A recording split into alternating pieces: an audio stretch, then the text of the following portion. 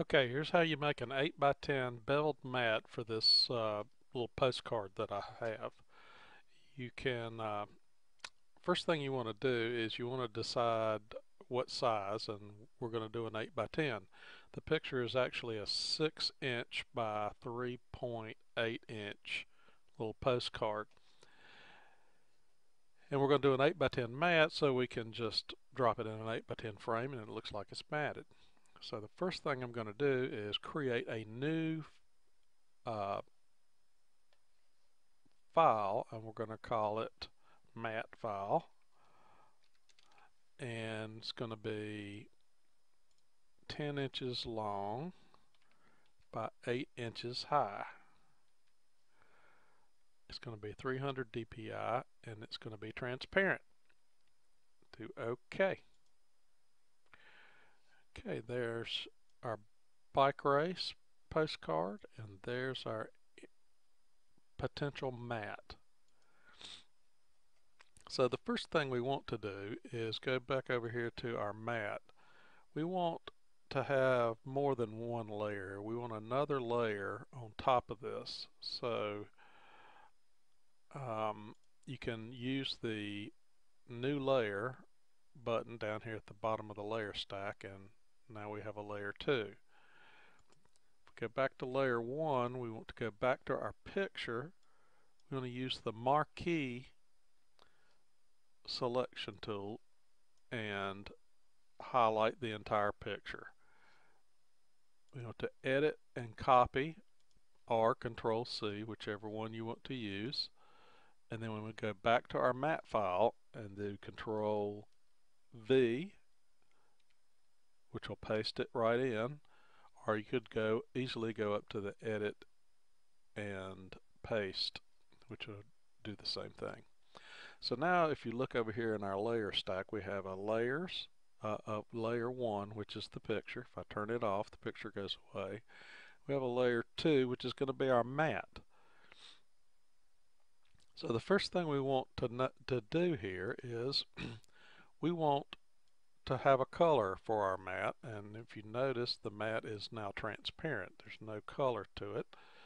So we really want to just color around the outside of this picture. And the best way to do that for me anyway is I, I have selected my layer that has the picture on it selected the magic wand tool and I have uh, I'm going to uh,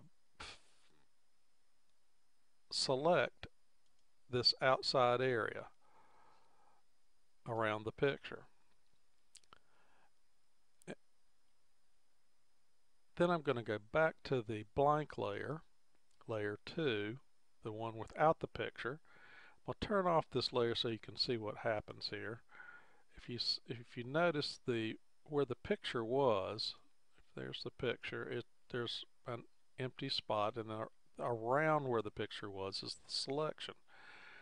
I'm going to use the paint bucket tool and this could be any color you want. You could select a color off the picture so that it would complement the picture but right now I'm going to do black because it's just easy. And I'm going to fill this area with black. Now if I turn the picture back on, you notice there's the picture right in the middle of all of it. So now what I want is to be able to put a bevel on this mat.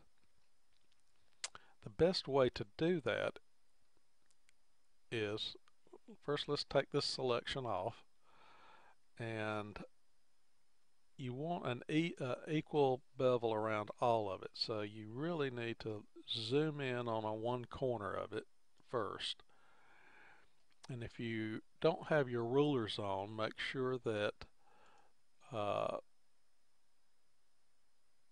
view and up here view and rulers are turned on. Our control all R will, will turn on your rulers. And you grab a guide to, to, to grab a guide you go over here to the where the ruler is on the edge of your screen and you click you left click and pull over a guide. And I put it right on the inside edge and I bring another guide and pull it on put it on the top edge now I want to put a bevel probably about an eighth of an inch deep. And that's usually what a mat board is. It's an eighth of an inch. So right there, if you bring pull this guide over, right there is an eighth of an inch. If you look up here at the top, and what you want to do is you want to do that for all of all the way around this opening. Because we're going to select that area. Uh, that's not I want to go from the top. We're going to select that area that's right there. So we got one two three four. It's about an eighth put that guide down there like that And we do this all the way around. Put one on the inside and then move, oops, that's not what I wanted to do. Not what I wanted to do. Let's zoom in here. Okay, we're back. And put a guide here. Uh,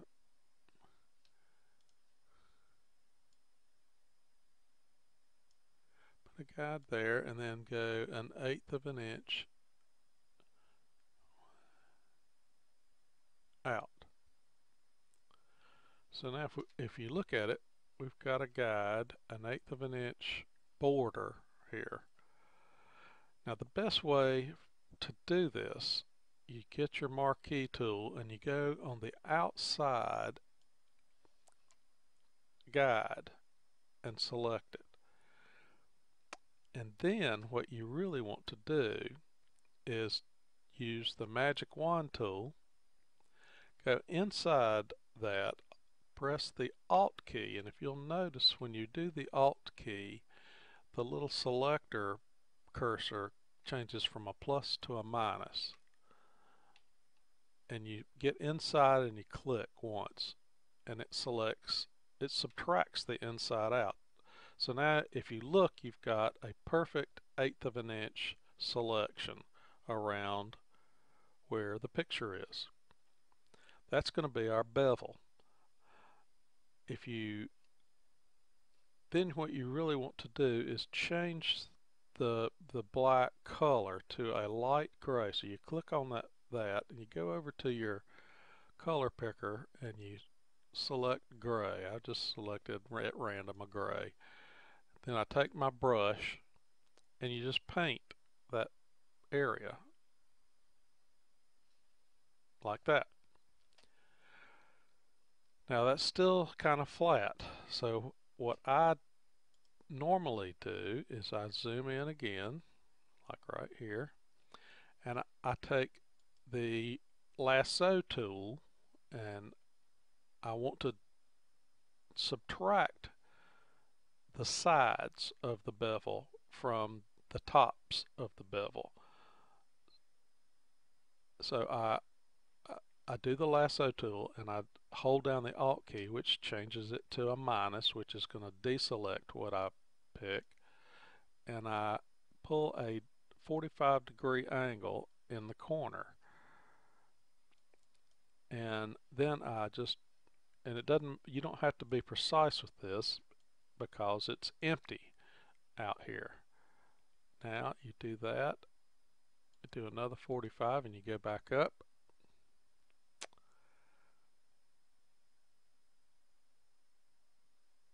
And when it's ready, see, now you've got this part up here that's uh, still selected and it subtracted the side.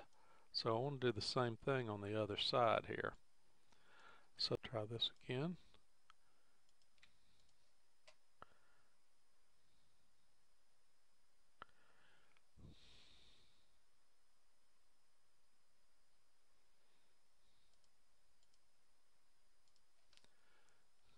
I'm going to get rid of the side.